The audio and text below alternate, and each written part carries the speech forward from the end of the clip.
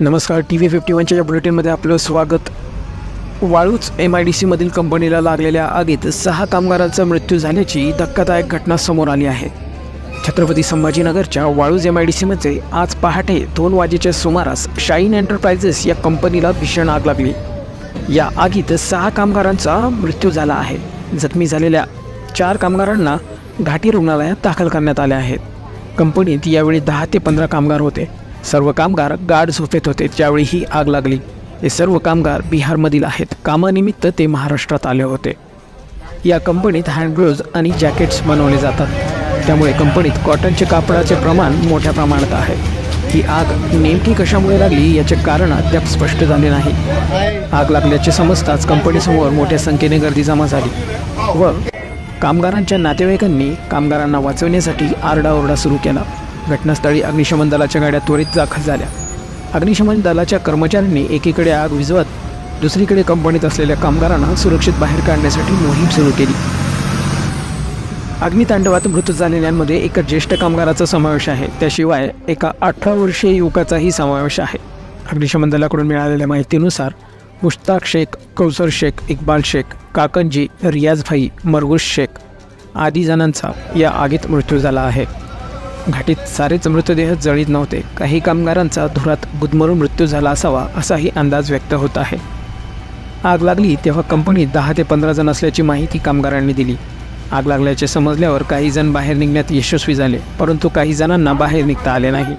आगीवर पूर्णपणे नियंत्रण मिळवण्यात आले आहे. ही आग कशामुळे लागली या संदर्भात चौकशी सुरू करण्यात आली आहे.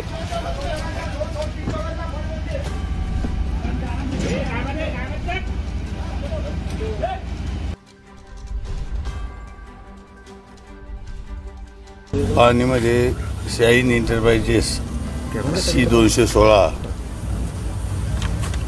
हे फॅक्टरीला रात्री अंदाजे एक दीड वाजता ही आग लागली आणि या आगीमध्ये सहा जणांचा मृत्यू पावलेला आहे. सात जण जखमी आहे ते किरकोळ जखमी आहे. जे ज्यावेळेस आग लागली असत सहा जण जाग्यावर गेले बाकीच्या सात जणांनी उड्या खाऊन त्यांनी जीव वाचवण्याचा प्रयत्न केला. ही दुर्दैवी घटना ही घडलेली ही कशी घडली काय घडली याचा सखोल आता सी पी साहेब वगैरे सगळे अधिकारी येऊन याची चौकशी करतील. पण जी काही घटना घडली ही दुर्दैवी घड घडलेली आहे. आणि विशेष म्हणजे ही जी काही फॅक्टरी ह्या फॅक्टरीमध्ये म्हणजे रेसिडेन्सी म्हणजे वरच हे कामगार राहत होते. आता ही घ- घटना कशामुळं घडी का घडी याची चौकशी नंतर होईल. पण फॅक्टरीमध्येच कामगार राहत होते. तर त्याच्यामुळं ही आग लागल्यामुळं ते त्यांचा जीव काही जण वाचू शकले नाही. म्हणून मला एक सांगायचं की सखोल अशी चौकशी केल्या जाईल. आणि जे काही असेल ते निश्चित लवकरात लवकर निष्पन्न होईल. काही प्राथमिक कारण आगीचं? काही आगीचं प्राथमिक कारण लागले आता ते अजून काही निष्पन्न झालं नाही पण आता सी पी साहेबाची माझी चर्चा झाली. इलेक्ट्रिशियनवाले बोलवलेले सगळे त्यांनी बोलवलेले. आणि याच्या माध्यमातून आता नेमकी आग काल फॅक्टरी बंद होती.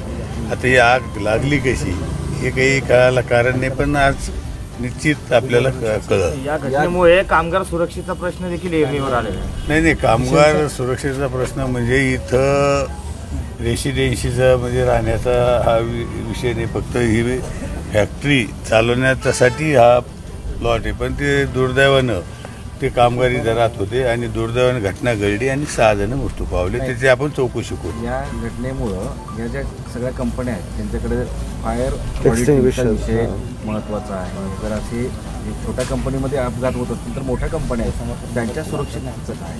त्यांच्या आता सुरक्षतेच्या बाबतीत फायरच्या बाबतीत आपण जे. सांगितलं त्या बाबतीत सुद्धा मी माहिती घेतो. आणि फायर वगैरे गाड्या आहे आपल्याकडे.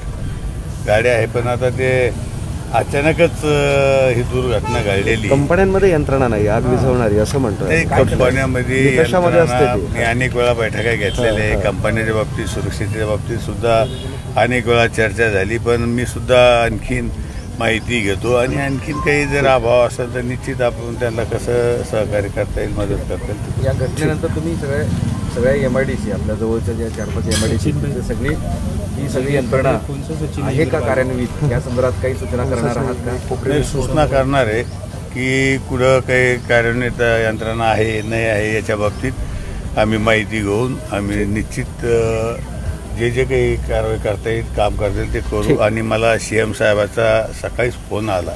हां. आणि मला सुद्धा सकाळी माहिती मिळाली सी पी साहेबांनी सांगितलं कलेक्टर साहेबांनी सांगितलं. आणि मी लगेच त्या घटनास्थळी आलो. कारण मी जवळ नव्हतो मी गावाकडे होतो. त्याच्यामुळे थोडा उशीर झाला. ठीक आहे sir thank you thank you धन्यवाद सर